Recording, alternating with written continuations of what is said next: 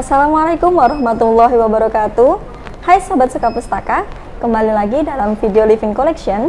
Untuk kali ini kita sudah berada pada Living Collection yang ke-10 Untuk 9 video Living Collection yang lalu yang sudah kita take Bisa diakses melalui kanal Youtube perpustakaan at Sukalip.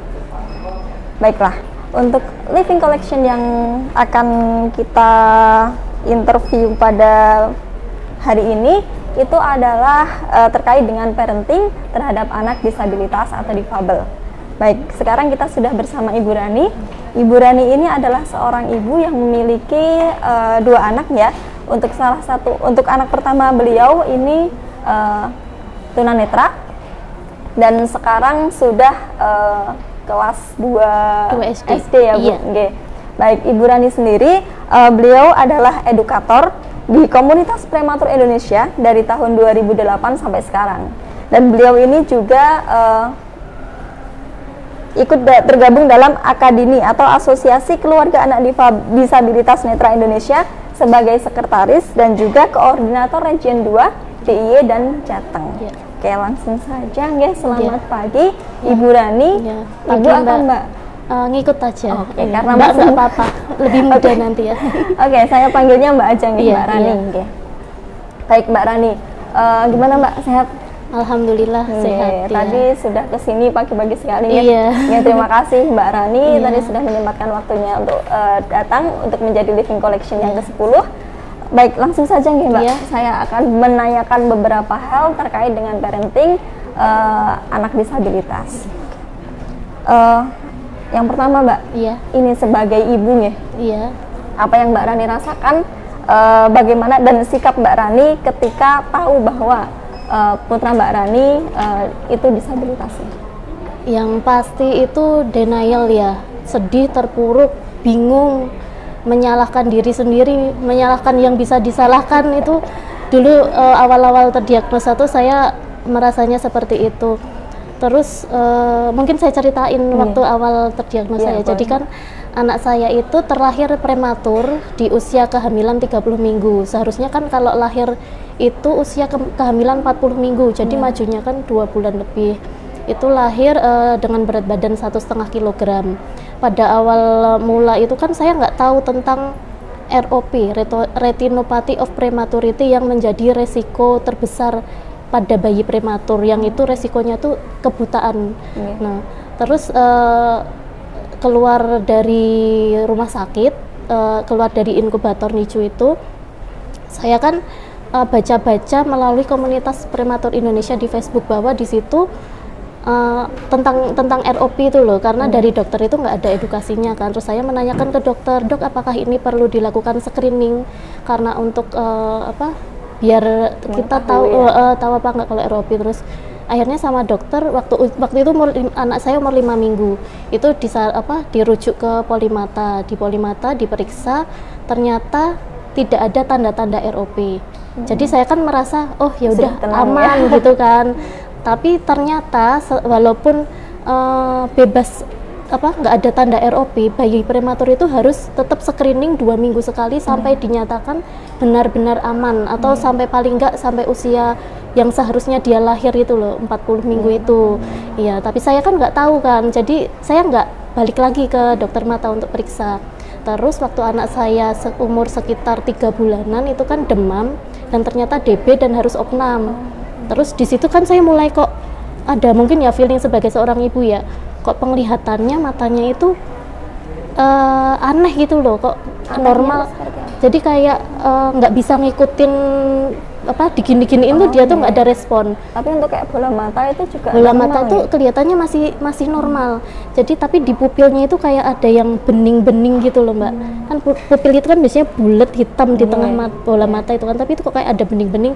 Terus ini kan anak pertama saya kan nggak ada pengalaman ngasuh bayi sebelumnya yeah. kan. Saya nggak tahu ini normal apa enggak. Terus pas saya tanya ke dokter waktu yang nanganin anak saya DB itu malah jawabnya ini mungkin hanya perasaan ibu aja gitu kan. Terus pulang dari uh, apa habis DB sembuh DB-nya itu tetap kok perasaan ini nggak enak gitu kan. Terus akhirnya saya sama suami bawa ke dokter mata. De, di dokter mata dibilang oh ini ada kelainan cuma untuk memastikan kelainan apa dirujuk ke dokter ahli retina waktu itu di rumah sakit lain. Terus pas daftar ke dokter retina itu suami saya tuh nggak bilang kalau pasiennya bayi jadi harus nunggu sekitar tiga minggu baru bisa ketemu Iya. padahal kalau bilang pasiennya bayi kan bisa diduluin ya terus akhirnya sambil nunggu kan eh, bingung kan apa udah nggak enak itu kan perasaannya cari dokter-dokter akhirnya eh, sampai ke salah satu rumah sakit terbesar di Jogja itu kan Iya. Di situ eh, ketemu beberapa dokter eh, apa dibilangnya kok malah ada tumor Hmm, tumor mata. tumor seperti tumor di retina atau retinoblastoma diagnosanya tapi masih diagno apa diagnosis. dugaan dugaan gitu kan disarankan untuk CT scan untuk memastikan tapi kok eh, dari hasil CT scan tetap dibilangnya retinoblastoma Iya. Disarankan mata sal- mata kanan kalau nggak salah ya waktu itu mata kanannya disarankan untuk diambil untuk diganti mata palsu terus yang mata kiri ini dilakukan kemoterapi padahal itu kan masih umur 4 bulan Iya. saya kan bayangan bayanginnya ya Allah Masih rentan ya. masih empat bulan tapi udah harus kemo segala macam Hmm. kan pokoknya dengerin apa kata dokter waktu itu udah eh, kayak sambar petir siang bolong kan mbak. Udah nangis nangis di Hmm. rumah sakit orang ngeliatin udah saya udah nggak peduli. Terus waktu itu pas saya bawa anak saya eh, periksa waktu itu suami saya kan kerja di Jakarta. Hmm. terus mertua saya kan juga di sana. Saya cuma telepon teleponan sambil nangis itu terus mertua saya bilang udah dibawa ke Jakarta aja besok kita coba eh, cari rumah sakit di sini periksain di sini. Terus besokannya langsung ke Jakarta. Terus di sana pun nggak hanya satu rumah sakit tapi kita keliling rumah sakit. Akhirnya dapat di klinik mata Nusantara Iya. dapat diagnosa pasti ROP stadium 5 udah eh, totally blind kedua Iya. mata. Udah benar-benar buta nggak nggak ada apa dan nggak udah nggak bisa diapa-apain gitu. Udah nggak bisa untuk kalaupun tindakan keberhasilannya sangat kecil dan mungkin bisa ada resiko-resiko lain juga juga, ya, kan. Iya. iya jadi eh, biayanya pun juga eh, nggak nggak sedikit. iya terus dari dokter itu kemudian yang ngasih kami pilihan mau ini bisa dilakukan tindakan kalau mau coba tapi dibawanya ke Jepang. Nah di Jepang kan nggak bisa BPJS kan. Terus atau eh, dokternya juga ngasih eh, nomor WA seorang ibu tunanetra juga namanya Ibu Prima itu. Terus eh, kalau enggak nanti ibu bisa belajar dengan ibu ini bagaimana cara mendampingi eh, anak eh, apa dalam tumbuh kembangnya. Terus ya udah sambil jalan akhirnya eh, alhamdulillah sih keluarga kami eh, sangat support ya. Saya mendapatkan support sistem yang baik di lingkungan keluarga Eh, keluarga kami dapat menerima anak ini. Jadi eh, waktu itu pada bilang kita rawat ini anak ini bareng-bareng. Iya. Jadi keluarga memang support paling Iya, penting iya itu ya. paling penting. Itu kan nanti juga berpengaruh ke tumbuh kembang anak, Iya. rasa percaya percaya diri Percaya anak juga. Iya. Iya, sampai kemudian didampingi sampai sekarang sudah sekolah. Iya, sekarang usianya sudah 8 tahun, kelas 2 SD. Iya. Iya. Sudah berinteraksi dengan teman-temannya Iya, juga. iya. Sudah banyak mem- mengenal eh, mengenal lingkungan, lain, mengenal hal baru. Iya, jadi kadang s- kami juga ngajak dia kayak seperti anak lain makan di Di luar, luar. terus jalan-jalan, mengunjungi tempat wisata kayak gitu. Jadi Untuk dia mulai sekolahnya sendiri dari TK atau Kalau sekolah itu eh, dari eh, apa playgroup usia playgroup, sekitar tiga tahun itu saya alhamdulillah dapat sekolah umum inklusi. Jadi playgroup sampai lulus TK itu dia sekolah umum satu-satunya anak tunanetra di sekolah itu. Hmm, Jadi dia awalnya tuh sosialisasi sama ya anak-anak pada umumnya, umumnya. iya. Eh, jadi kan keberadaan anak saya di situ juga dapat eh, membangun empati anak lain kan anak-anak Iya, usia dini iya. gitu. Terus untuk tingkat SD-nya eh, saya sebenarnya waktu itu cari sekolah inklusi juga, cuma susah banget ya Mbak ya Iya. sekolah yang eh, untuk SD ini karena eh, biasanya sekolah-sekolah itu alasannya fasilitas terus fasilitasnya belum mendukung sama tenaga pendidiknya belum berpengalaman untuk eh, mengajarkan anak tunanetra dan bingung gimana cara ngajarinya Iya. Tuh, jadi akhirnya eh, alhamdulillah di Jogja ada SLB yang A khusus untuk tunanetra jadi lanjut sekolah tingkat SD-nya di SLBA di Yaketunis. Oh, dia iya. sendiri. Sekarang sudah banyak temennya, sudah Iya. bisa berinteraksi juga. Iya, nih. iya. Maaf, putra apa putri? Putra, Oh, putra. namanya Arthur. Mas Artun. ya. Iya. Selanjutnya Mbak, Iya. eh, hal apa sih yang penting diperhatikan dalam pengasuhan anak difabel ini? Kalau yang paling penting sebenarnya hmm, apa ya? Eh, kuncinya sih pada orang tua itu sendiri. Oke. Jika orang tua itu udah bisa menerima ikhlas Keadaannya, kondisi anak tersebut, mesti eh, dalam melakukan apa ke depannya rasanya jauh lebih ringan dibanding ketika kita masih aduh anakku kok nggak bisa lihat aku harus gimana lagi kayak gitu kan rasanya Iya. kalau jalan ke depan kan ada beban gitu loh tapi kalau kita udah ikhlas bisa nerima kondisi anak terus wah pokoknya nggak usah dipedulikan kata-kata atau stigma Yang negatif kiri. eh, dari orang lain Hmm. itu nanti pasti apa juga berpengaruh ke tumbuh kembang anak apalagi anak usia dini eh, 0 sampai 3 tahun itu kan usia-usia apa ya apa istilahnya usia emas Iya. ya dalam tumbuh kembang itu kan paling penting di usia itu bagaimana nanti anak itu bisa bersosialisasi belajar kayak berjalan berkomunikasi itu kan ada pada usia-usia tersebut. Padahal di usia tersebut kadang orang tua masih ada pada titik denial gitu Iya. kan. Jadi harapannya sih eh, pada orang tua yang baru mendapat diagnosa kalau anaknya ABK ya memang sedih itu pasti eh, manusiawi ya apa cuma eh, jangan terlalu berlarut-larut dalam kesedihan itu karena Iya. kan nanti pengaruh pada kondisi anak ke depannya iya Karena mengasuh anak pertama itu kan orang tua juga masih belajar nih, apalagi Iya. untuk anak berkebutuhan khusus, Iya. belajarnya kan jadi double gitu. iya iya Jadi eh, sebenarnya yang yang paling ditanamkan untuk eh, anak difabel sendiri apa sih Mbak? Misal mungkin kepercayaan dirinya atau motivasinya atau bagaimana? Eh, percaya diri dan kemandirian Hmm. Jadi eh, kita kan sebagai orang tua kan nggak selamanya terus-terusan bisa Bersama. mendampingi anak. Ya, harapannya sih kita berumur panjang, cuma kan kita nggak tahu ya. Jadi paling nggak menyiapkan dari kecil anak itu kecil, menyiapkan sejak dini agar anak itu bisa lebih mandiri, lebih kuat, terus Hmm. lebih percaya diri juga dengan biar bisa bersosialisasi, berinteraksi dengan lingkungan di sekitarnya. Hmm. Untuk harapannya Mbak Rani sendiri untuk eh, putra yang difabel itu bagaimana Mbak? Harapan yang besar. Mungkin Kalau harapan sebagai nggak sih? orang tua kan mesti punya harapan yang terbaik untuk Iya. anak ya. Ya harapannya anak saya bisa eh, lebih mandiri, eh, terus bisa tentu saja berprestasi ya. Iya. Berprestasi eh, bisa menempuh pendidikan yang tinggi itu mesti menjadi harapan setiap orang tua. Iya. Cuma untuk mencapai itu semua kalau sebagai orang tua yang memiliki anak ABK kan jalannya lain, Lain. kan iya jadi jalannya itu kayaknya kerikilnya itu terlalu banyak cuma anggap aja sebagai sebuah tantangan tersendiri jangan jadikan itu sebagai sebuah beban kan Hmm. jadi kalau itu dianggap sebagai tantangan kan kita ngerjainnya menjalaninya kan jadi lebih eh, lebih ini ya iya Iya ya, karena memang eh, anak difabel itu kan berbeda ya. Jadi Iya. memang eh, harus berusaha dengan penuh agar eh, apa yang kita harapkan itu bisa bisa, Bisa terwujud. terwujud. iya iya ya Mbak. eh, dalam apa menghadapi anak difabel kan pastinya Mbak Rani sendiri juga sharing terhadap teman-teman yang lain ya. Iya. Mungkin ada komunitasnya. Iya. eh, selain membahas tentang putra yang difabel tadi, Mm-mm. mungkin eh, ini Mbak kita juga membahas tentang akademi. oh iya Mbak Rani kan tadi juga adalah sekretaris eh, akademi dan Iya. juga apa tadi? koordinator ya koordinator di Region Region 2 2 ya. Oh, sebenarnya akademi sendiri itu apa sih Mbak? Akadini itu kepanjangannya Asosiasi Keluarga Anak Disabilitas Netra Indonesia.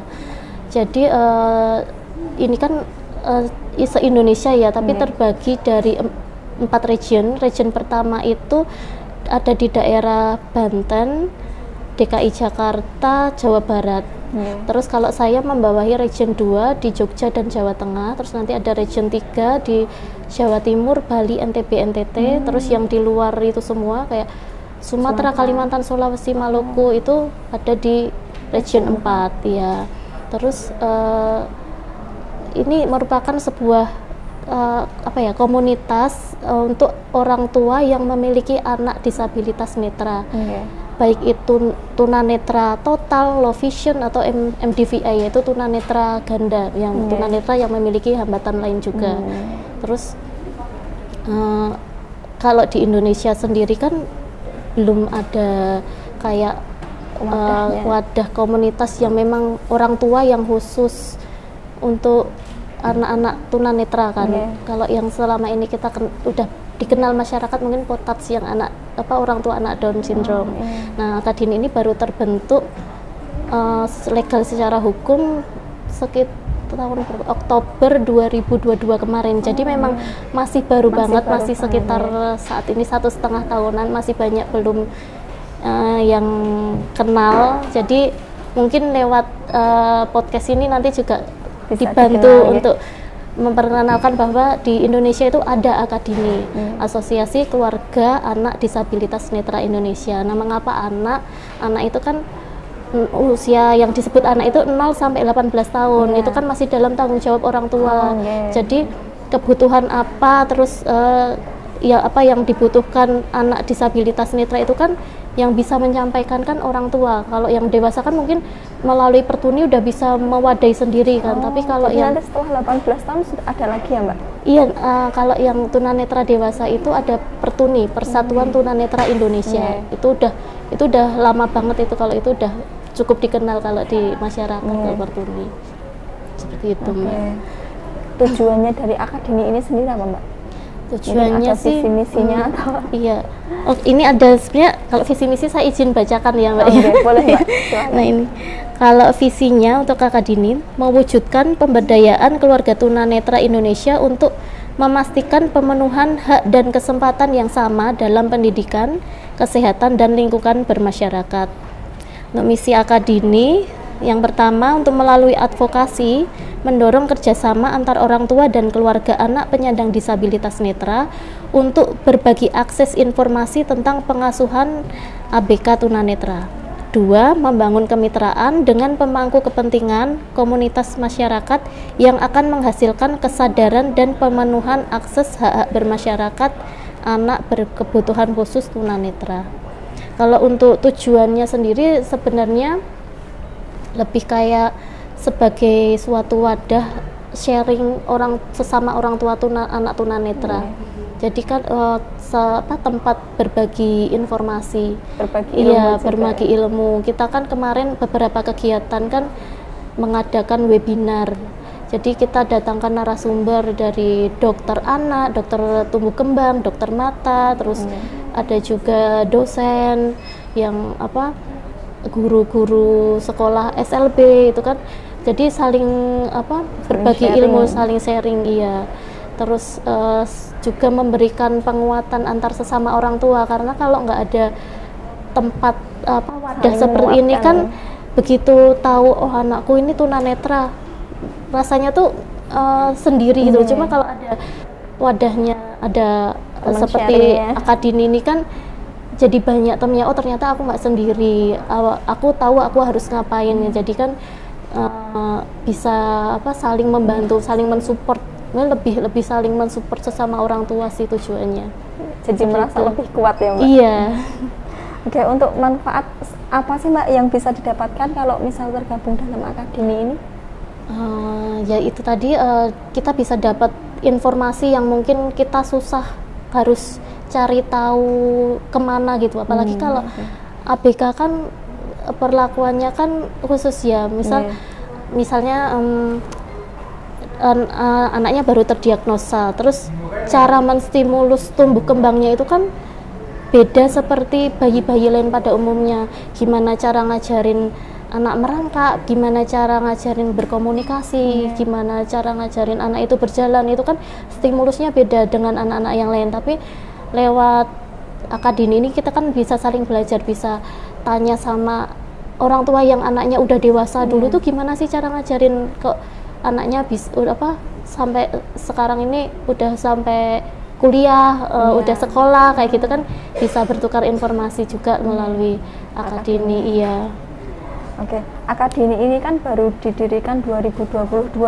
Sedangkan eh, putranya Mbak Rani ini kan sudah 8 tahun ya. Iya. Nah, untuk tahun-tahun sebelumnya itu bagaimana, Mbak? Oh, dulu itu itu waktu saya awal apa di, terdiagnosa dokter itu kan memberikan pilihan Iya. salah satunya kan ngasih nomor WA seorang ibu anak tunanetra juga. Iya. Nah, dari eh, ibu ibu Prima ya namanya. Sama Bu Prima kemudian saya diajak bergabung di sebuah grup WA namanya grup WA Baby Community. Ada beberapa Uh, selain orang tua di situ juga ada beberapa praktisi dari pendidikan, dari dokter juga kan. Nah di situ kita juga saling sharing, Iya. uh, apalagi untuk anak-anak yang usianya masih di bawah satu tahun. Biasanya gimana cara menstimulus anak yang masih memiliki sisa penglihatan, gimana cara ngajarin dia uh, dari terlentang ke duduk, gimana cara ngajarin dia berjalan, itu kan belajar di situ. Terus semakin lama kan uh, usia anak semakin bertambah dan kebutuhannya kan lain, udah nggak seperti anak balita lagi, tapi lebih ke kayak pendidikannya, bagaimana sekolahnya, itu kan kita eh, apa eh, sesama founder akademi itu saling mengenalnya awalnya lewat eh, baby community itu dulu kan. Terus akhirnya kita ke tergabung waktu pandemi kemarin kita eh, sering membahas lewat zoom. Terus tahun 2022 itu kemudian terbentuklah akademi legal secara hukum dengan nama Yayasan Akademi Cahaya Netra Indonesia. Gitu. Oke, untuk pusatnya sendiri di mana itu, Mbak? kalau pusatnya itu di Surabaya karena untuk ketua akademi itu Pak Asrul Irawan namanya itu domisilinya di Surabaya jadi kantornya ada di Surabaya. Gitu. Eh, untuk eh, orang tua lain yang ingin bergabung mungkin apabila punya anak difabel Nanti Bagaimana, mungkin eh, orang tua yang memiliki anak difabel netra ya khususnya itu umur 0 sampai 18 18. tahun itu nanti mungkin bisa menghubungi saya atau nanti bisa juga DM dulu ke Instagram akademi @akademi.psg itu at at akademi akademi titik ya ps PSG. Oke. Jadi untuk eh, mungkin orang tua yang ingin bergabung Iya. dalam komunitas akademi ini, Iya. mungkin nanti bisa DM melalui di Instagram. Instagram. Iya nanti lalu nanti em, admin dari Instagram bisa mengarahkan eh, misal dia domisilinya di Jakarta nanti akan diberikan nomor WA koordinator area Jakarta. Oke. Domisili Kalimantan nanti akan diberikan nomor WA koordinator yang area tersebut. Nanti akan dibantu diinfokan. Menarik sekali ya. Iya. Informasi yang diberikan Mbak Rani ini sangat penting uh, bagi orang tua yang khususnya untuk orang tua yang difabel netra karena mungkin kan belum banyak yang tahu juga Iya, karena iya. ini juga komunitas baru Iya. dan juga mungkin uh, mungkin sudah ada yang saling sharing tapi mungkin untuk pengetahuan tentang akademi sendiri ini masih uh, Belum belum terlalu banyak yang tahu ya. Jadi untuk uh, ingin bergabung nanti bisa hubungi Mbak Rani. Iya. Oke. Nah Mbak Rani ini yang terakhir Iya. nih Mbak yang terakhir untuk pertanyaan terakhir saya eh, bagaimana sih harapan eh, Mbak Rani kepada masyarakat dan pelaku ke pemangku kepentingan terhadap eh, anak difabel dan kelompok disabilitas khususnya netra? Kalau harap harapannya sih kita dapat berkolaborasi seperti eh, misalnya dengan pemerintah. Jadi pemerintah sebagai apa pembuat kebijakan ya, karena eh, yang bisa menyuarakan apa yang dibutuhkan oleh anak-anak difabel itu kan orang tuanya. Anak kan masih belum bisa kan. Terus yang tahu anak ini harus ke mana ngapain kan itu kan orang tua. Jadi harapannya kita bisa eh, berkolaborasi ataupun mendorong pemerintah untuk memberikan apa yang dibutuhkan oleh anak-anak kita ini, terutama sih dalam pendidikan ya, Iya. pendidikan dari tingkat dasar.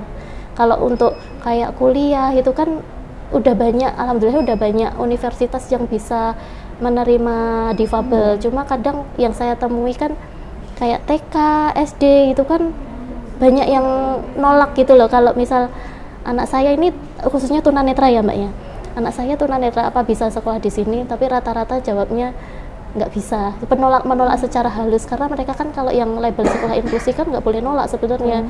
Cuma mereka nggak sanggup menerima anak ini. Jadinya sebagai orang tua kan bingung juga apalagi yang ber, yang tinggalnya itu di daerah-daerah kabupaten di pelosok-pelosok Hmm, iya. luar Jawa gitu kan lebih susah lagi untuk mencari akses pendidikan.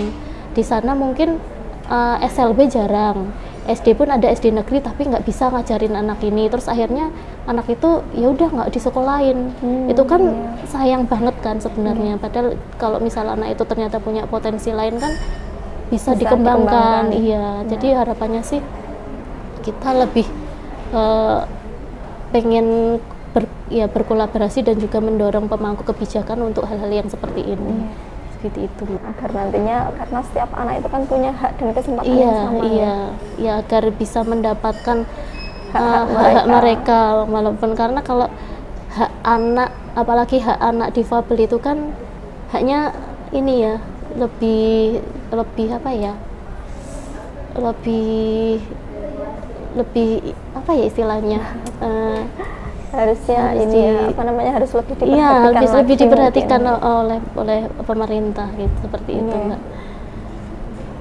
ada yang ingin disampaikan lagi mbak Rani mungkin enggak sih itu aja udah banyak cerita-cerita juga ini iya saya itu bingung mau terharu mau nangis Iya. Semoga ini aja deh, semoga melalui apa ya tayangan podcast ini juga dapat memperkenalkan akademi ke masyarakat, orang tua tunanetra yang uh, melihat tayangan ini mungkin bisa bergabung dengan kami, belajar bersama, saling mensupport uh, lewat akademi, terus mungkin dari lembaga-lembaga pemerintah atau yang lain yang menonton juga bisa mendengarkan suara-suara kami sebagai orang tua anak tunanetra seperti itu. Khususnya tunanetra ya anak-anak orang tua difabel khususnya anak tunanetra seperti itu. Iya, jadi memang eh, apa namanya setiap anak itu kan dilahirkan berbeda ya. Iya. Oke, oke. Eh, mungkin eh, karena keterbatasan waktu ya Mbak Iya. Rani, nanti kalau misal teman-teman ada yang mau pinjam living collection eh, terkait dengan parenting anak disabilitas ini nanti bisa hubungi Mbak Rani. iya terbawa suasana nggak apa-apa Iya. mbak iya Oke. Ya. Jadi teman-teman eh, nanti tayangan ini bisa disaksikan di kanal YouTube Perpustakaan Ed Sukalip Eh, dan apabila teman-teman tertarik untuk kemudian meninjau lebih lanjut informasi terkait dengan eh, parenting anak disabilitas khususnya tunanetra eh, difabel netra nggih nanti bisa menghubungi nomor Kak Imum di 0812 2999 0074 untuk peminjaman living collection ini nanti melalui Kak Imum nanti dari Imum akan eh, dibantu untuk eh, kontak Mbak Rani. Jadi eh, untuk living collection ini eh, ada kayak sirkulasinya Mbak. Oh, iya. jadi kayak eh, seperti koleksi buku. Kalau dipinjam kan ada transaksinya untuk manusia sendiri juga iya tapi nanti melalui Kak Imum ya. Oh, iya. jadi nanti ya Kak Imum yang menghubungkan antara eh, teman-teman yang mau meminjam dengan Mbak Rani Oh, iya. sendiri Iya. Baik. insya Allah iya Ya, terima kasih banyak Mbak Rani sudah Mbak, iya. uh, sharing ya. Iya. Jadi mungkin nanti uh, teman-teman semua bisa berbagi informasi, mungkin ada tetangga, kerabat atau siapa yang membutuhkan informasi ini nanti bisa dibagikan juga. Iya. Oke, jangan lupa tadi uh, y- apa Instagramnya Instagram akademi.psg. Iya. Oke, jadi kalau misal nanti uh, mau tanya-tanya terkait akademinya juga boleh langsung ke Instagram ya. Atau kalau misal mau ketemu Mbak Raninya nanti bisa melalui Imum. Oke, baik, kita cukupkan sampai di sini. Uh, sampai jumpa di Living Collection selanjutnya. Iya. Saya ucapkan kembali terima kasih kepada Mbak Ya, Rani yang sudah Mbak. sharing Iya. kepada kami terkait uh, dengan uh, parenting disabilitas ini. Baik. Uh, tunggu video-video kami selanjutnya di Living Collection selanjutnya yang tentunya uh, akan juga mengangkat tema-tema yang menarik dan tidak umum di uh, masyarakat ya. Jadi kita tema-temanya memang adalah tema-tema tertentu seperti itu. Sekian dari saya. Banyak kurangnya mohon maaf. Assalamualaikum warahmatullahi wabarakatuh.